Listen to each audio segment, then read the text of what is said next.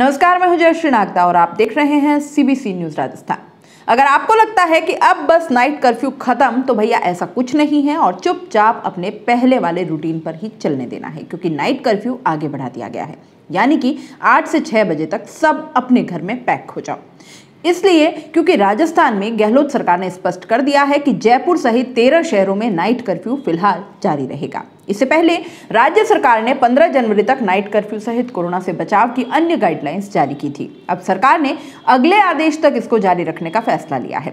जानकारी के अनुसार गृह मंत्रालय ने यह आदेश जारी किया है। इसके तहत पहले की तरह रात आठ बजे से सुबह छह बजे तक कर्फ्यू जारी रहेगा।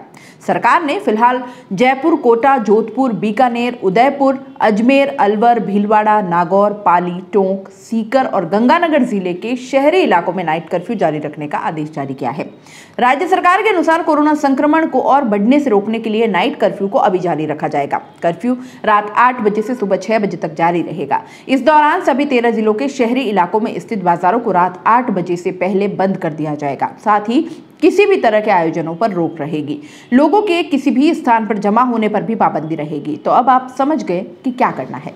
सात बजे बाद अपने अपने बोरिया बिस्तर समेटने हैं और आठ बजे तक अपने अपने घर पहुँच जाना है। नहीं तो पुलिस वाले भैया जब डंडों से समझाए तो फिर कुछ कहना मत। हालाँकि व्यापारी वर्ग और होटल रेस्टोरेंट मालिक इस आदेश से परेशान हो गए हैं, परंतु आदेश है तो पालना तो करनी ही होगी।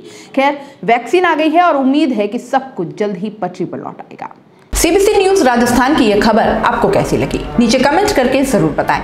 अगर आप YouTube पर देख रहे हैं तो सीबीसी न्यूज़ का चैनल सब्सक्राइब करिए, पास में दिख रहे बेल आइकन को भी दबाइए, ताकि जब भी हम आपके लिए कोई खबर, कोई जानकारी लेकर आए तो सबसे पहले आपके पास नोटिफिकेशन पहुँचे।